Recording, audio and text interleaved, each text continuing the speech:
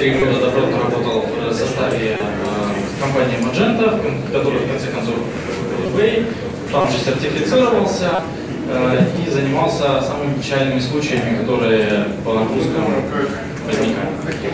В общем, близкие печальные, печальные, болезненные, те, от которых уже вообще без нуля. Значит, о, о чем будет вообще рассказ? О том, как эволюционировало все железо, в котором живет наш софт, соответственно, до чего мы дошли и что у нас ждет дальше. Пожалуй, начнем. Значит, в старые добрые времена у нас был один процессор, одно ядрышко, и все были счастливы. Но до поры до времени. Потом у нас один и тот же компьютер, множество ядрышек, уже чуть, чуть, чуть более счастливы. Затем у нас начали вырождаться целые э, кластера, системы. В общем.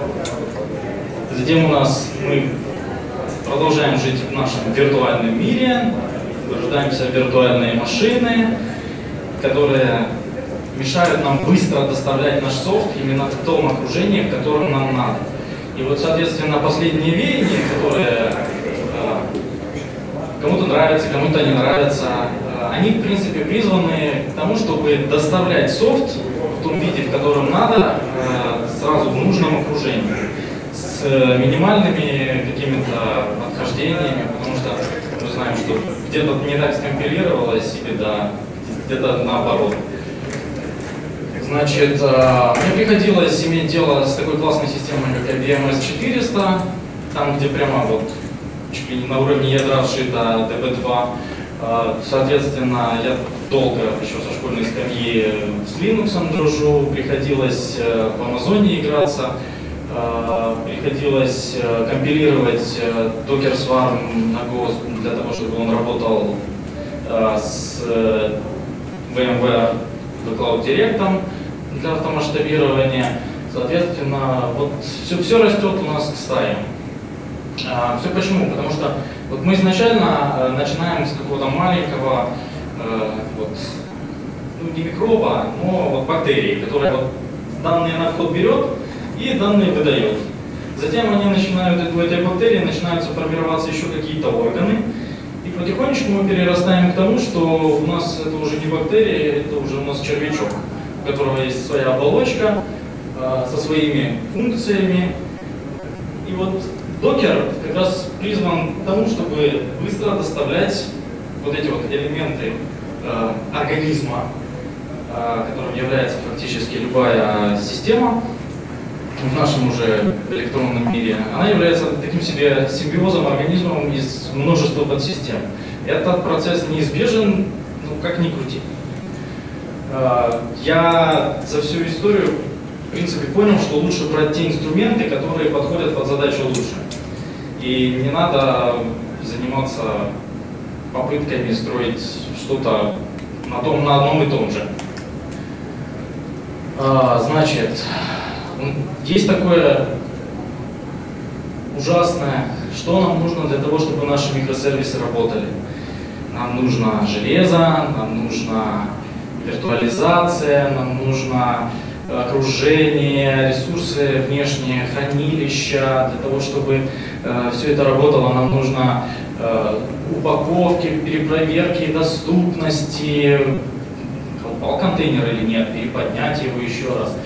Значит, э, значит, что нам дальше нужно? Э, запланированные задачи, централизованное логирование, Э, мониторинги, автоматическая балансировка, поиск сервиса внутри системы, еще какой-нибудь API по управлению этим всем. И в конце концов нам нужно э, так, чтобы мы один раз сказали системе «будь такой», и чтобы она была такой. Это вот как раз э, то, что нам дает, то, что нам, так, то, что вот дает нам Kubernetes. Он, в принципе, дает вот эти вот компоненты, которые нам нужны для построения вот этой вот большой и страшной отказоустойчивой системы. При этом мы не знаем, на каком сервере оно там изначально крутится, и нам не важно. Значит, мы получаем сервисы, отдельные точки входа, отдельно конфигурацию, отдельно развертывание, отдельные абстракции идут диски. Значит, вот это вот большую страшную головную боль, которая необходимо исполнять товарищам DevOps, которые должны знать. Это я забрал товарищей, которые делали франкфуртскому аэропорту э, e-commerce систему на Magento. А, Фабрицио меня простил. А, значит, э, соответственно, вот основную вот эту головную боль Kubernetes решает. И, э, в принципе, довольно удачно. Вот так он выглядит. Мне товарищи сказали, не надо все показывать. Это UI-часть пользовательский интерфейс, в котором можно посмотреть вот слева, э, собственно, переключение namespace, namespace это пространство контейнеров, в котором все это живет.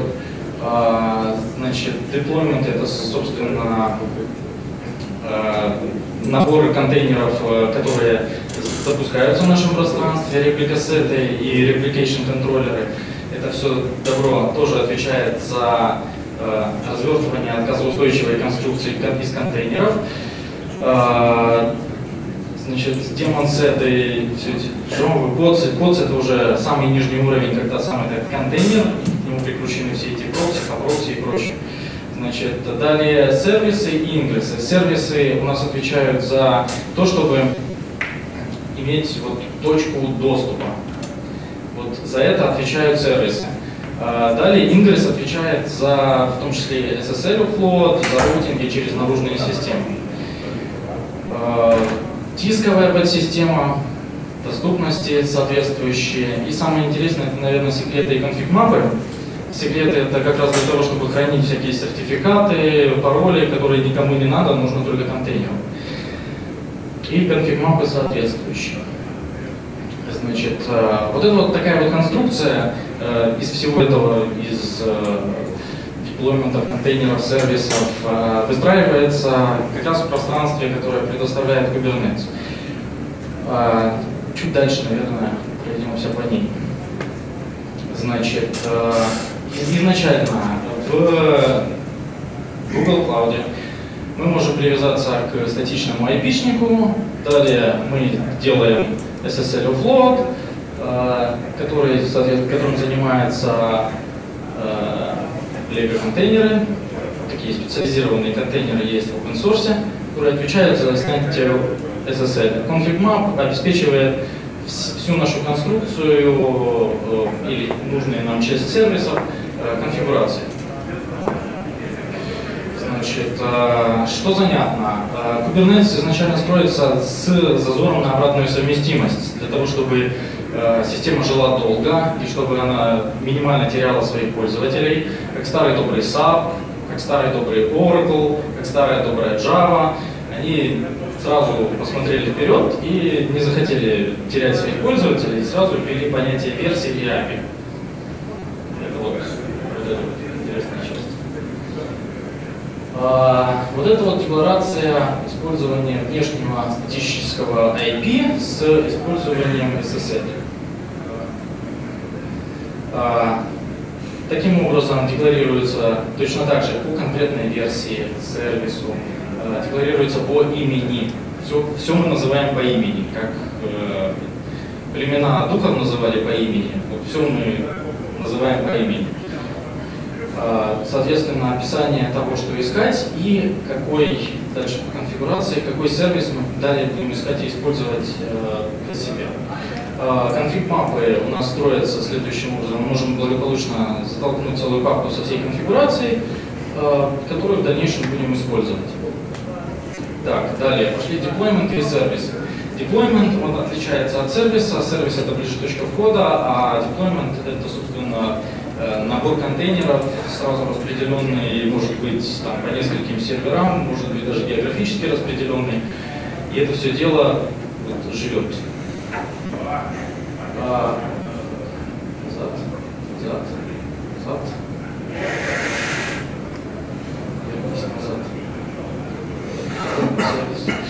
Так, а, собственно, конфигурация деплоймента описывает нас а, вот эта вот конфигурация Redis. Простите меня, что это не одним файлом сразу по вертикали не влазит.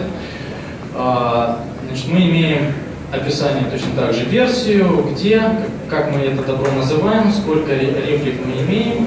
Мы можем здесь задать сразу несколько реплик а, с, каких портов, с какими портами мы работаем, с, какой, а, с каким образом мы работаем. И политика при запуске, соответственно. То есть, если он умер, мы его быстренько поднимем. А, далее, диски. Абстракция дисков в Kubernetes вообще такая специфическая, многослойная. Это диски, в отличие от тех серверов, на которых все исполняется, должны быть отдельно, потому что те сервера, на которых у нас все сейчас крутится, умрут. Помним доклад второй сегодня, все умирает всегда а, по DevOps. Соответственно, диски позволяется монтировать сразу и сразу же находить для них место окружении Амазона и э, сразу находить место, далее подключать внешние диски на запись чтения, там есть множество, там, всякие кластеры, какие не лень. А, соответственно, volume claim это абстракция на уровне сверху. А, что мы еще получаем с Kubernetes? Э, это э, то, что мы независим от провайдера. Это может быть в Гугле, это может быть в Амазоне, это может быть здесь под Москвой, это может быть э, отчасти еще и во Владивостоке. Значит, э, ну, мы помимо этого получаем повторное использование. Как всегда, сейчас уже все, ну, давайте в Ansible, давайте в Puppet, давайте в Chef, зоопарк растет. Э, соответственно, мы, мы еще получаем централизованные логи, и вот эта вот гибкость, а, с которой мы можем добавлять быстренько еще сервисы, запуская их в том же окружении, поблизости. А, значит, и копирование из коробочки, об этом чуть даже позже. Далее возвращаемся к Magento 2. Кто знает, что такое Magento 2? Кто боится, кто не любит, кто уважает. В общем, в общем, расскажу, что это самое взрослое, как по мне, решение для интернет-магазина, которое смело текается с, с ADG и Хайбисом и, и, и прочей, и веб-сферой, несмотря на то, что оно open source по большей части. А, почему это близко к Magento? Потому что с Magento 2 уже очень много систем начинают входить в работу. То есть э, это поиски, это, может быть, рекомендационные системы, части по интеграциям. В общем, все вот эти подсистемы, их тоже нужно контролировать. А так мы можем более-менее консолидированно записать описание всех этих систем. И, в общем, часто нужно Давайте поехали. Что мы получаем из вышеописанного стека?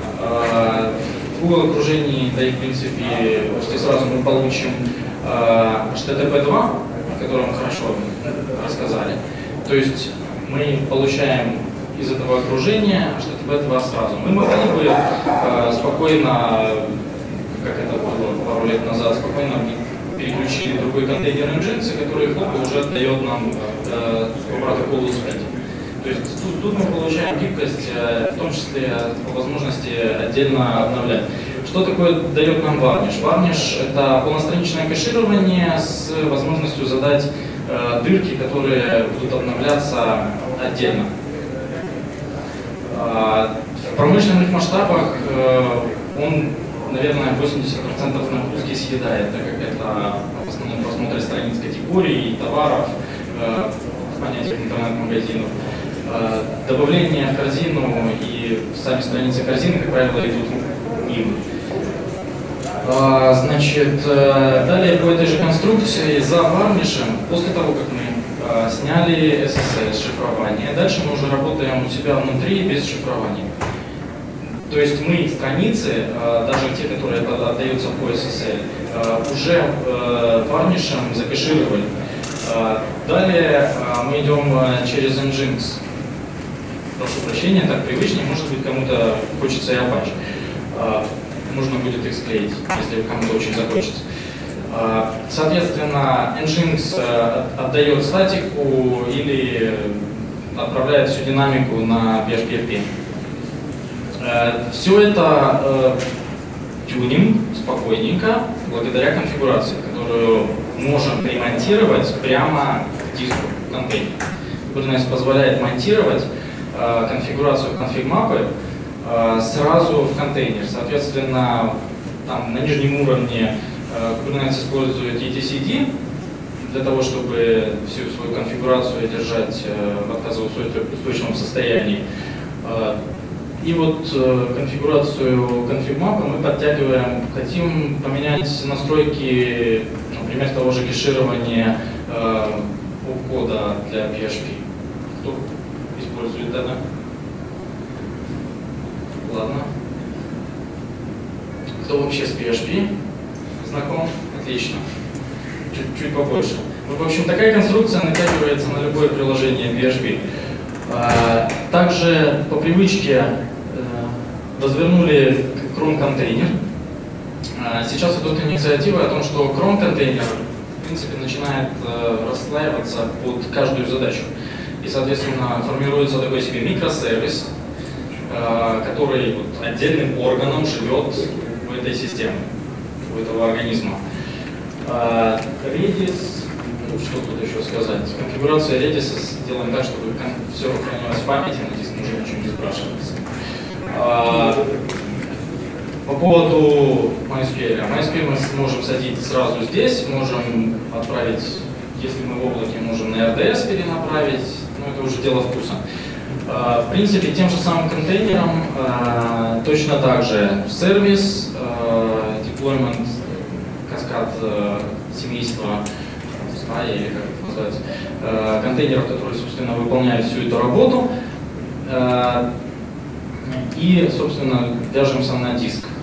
Для того, чтобы была возможность доступа на запись с обсерверов, которая в Magento нужна для генерации статических картинок, если мы не, не пригенерим их, то благополучно через э, такие абстракции, как э, Persistent Volume, Persistent Volume Claim, э, эти конфигурации нам позволяют э, благополучно вот, взять и прикрутить все это дело.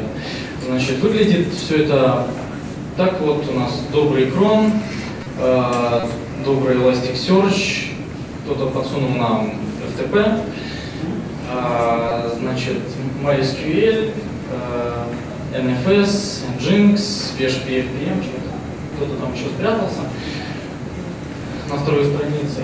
И вот мы живем и развиваемся. При том, что все эти э, деплойменты, они могут иметь сервисы свои, то есть точку входа для себя они могут иметь, а могут и не иметь. А, значит, что мы получаем в итоге после всего, что, это, что мы проделали? Мы получаем вполне себе боевое окружение со HTTP 2. И если у нас нагрузка, как у магазина, может быть скачками, нам послезавтра э, запускать маркетинговую кампанию, и к нам прибежит э, еще тысячи три пользователей, прям, прям будут сидеть и клацать, то мы сможем наши RPM благополучно отмасштабировать. Если у нас какой-то из э, контейнеров упал, мы это увидим за, счет централизированного хранения лога. А если у нас даже посыпались какие-то фаталы, а, нехитроумными перенаправлениями точно так же в контейнеру вывод всех ужасных логов, мы точно так же собираем все логи в одно и то же место. А, и по поводу безопасности, по поводу легко воспроизводить. Все эти контейнеры, которые э, используются, и их можно использовать локально. Э, кто знаком с докер-композициями? Замечательно. В одной секте. Соответственно, по поводу безопасности. Если к нам кто-то проникает, то если он вдруг умудрился поправить какие-то файлики, э, мы благополучно можем снести все, выстроить все заново. Потому что у нас ничего, кроме базы данных и, может быть, картинок нету. Картинки мы, как правило, доставляем без каких-либо исполнений. Шанса, что пешки там исполнится, нет. Э, по поводу базы данных, там уж старался я еще в 2010 году, так что SQL инъекции и прочие гадости просочилось. Так, вот наш добрый HTTP 2. Мы эту штуку наблюдаем. А, вот таким образом можно задать автомасштабирование в зависимости от нагрузки. То есть э, Kubernetes сразу позволяет задать возможность масштабирования приложения а, по нагрузке. Также есть возможность задать э, масштабирование и по потреблению памяти.